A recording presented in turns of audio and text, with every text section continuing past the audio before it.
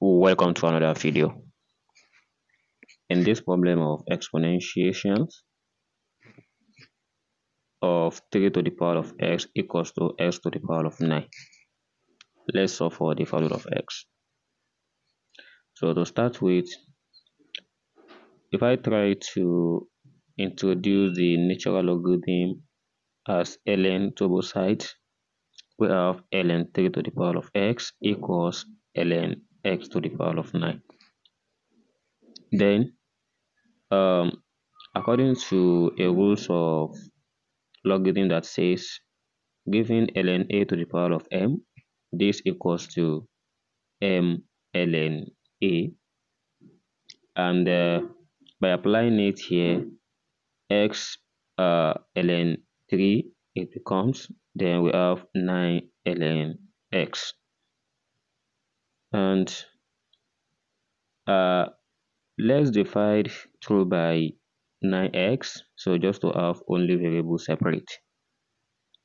And by doing that so x at this left hand side will cancel each other and 9 will also cancel each other.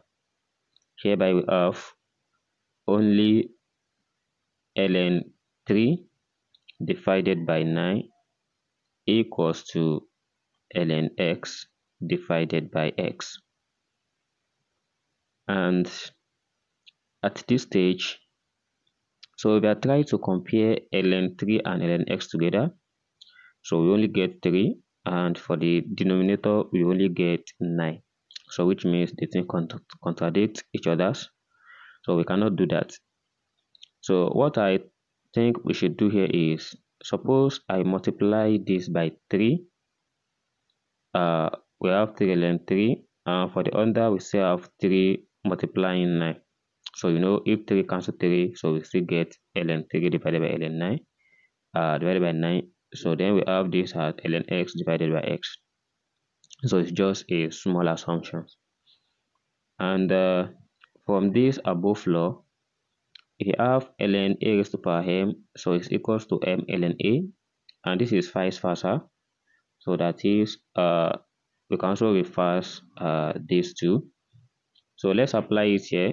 So these three will come up on the three uh we have which is we have ln 3 to the power of 3 then for this we have 27 and this equals to ln x divided by x. So 3 to the power of 3 is 27 and everything divided by 27 equals to ln x divided by x. So now, it now makes sense that if we are able to compare this, so it will give us the answer. And there are many ways of doing this. It's either we cross multiply or we do normal comparison of numerator and the denominator. So anyone we go for, so we are going to get the answer. So that is ln 27 equals to ln x or we can just say x equals to 27. So if ln cancelled, here we have uh, 27 equals to x as we have cancelled the ln. But some might be thinking of, okay, uh, why do we just cancel ln? So we can still do it in this way. So ln 27 equals to ln x. So we know that so what can make ln cancel is by introducing the Euler symbol, which is the exponent. So by introducing exponent to this, so we have e ln 27 equals to e ln x.